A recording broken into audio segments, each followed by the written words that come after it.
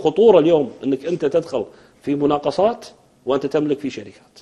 خطورة اليوم عندك وكالات وقاعد تدخل في مناقصات نفطية. خطورة اليوم إنك أنت قاعد تدخل في إسهامات مع الدولة على الرغم من الحظر المطلق الموجود مادة 121 في توسع بالتفسير. عارف بس إذا إذا إذا الماده 120 في في في حظر القانون شو مهنته بالحاله إذا أنت اللي بتقدمه؟ آه، في حظر والقانون نفسه راح يوضح الحظر ويضع جزاءات. الدستور ما في جزاءات. ما تحدث عن جزاءات تحدث عن حظر لكن ما تحدث عن جزاءات. فانا اليوم أنا أتحدث عن جزاءات موجودة.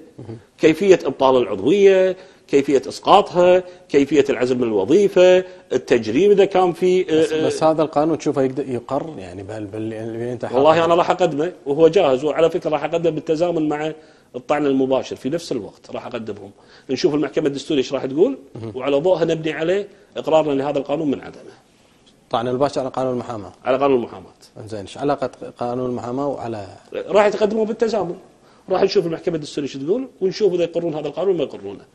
لا حد يعني آه، اليوم يدخل في الالتزامات مع الدولة أمام مرأة ومسمع نواب مجلس الأمة والأمر ساكتين عنه. لا خلاص الجميع الآن مع بعض كلنا نقدم قانون النزاهه ونشوف عملية نقل الملكيات اللي قاعد يحصل ترى هم بعد ابو حسين ان إن للأسف البعض زين. ينقل الملكية باسم الزوجه أو الأبناء ويروح يدخل في إسهامات ويدخل في التزامات مع الدولة.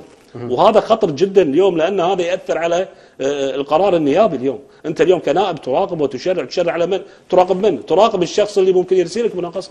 وهذا أعتقد خطر جدا. لذلك أنا أعتقد هذا القانون يجب أن يقدم بالتزامن مع الطعن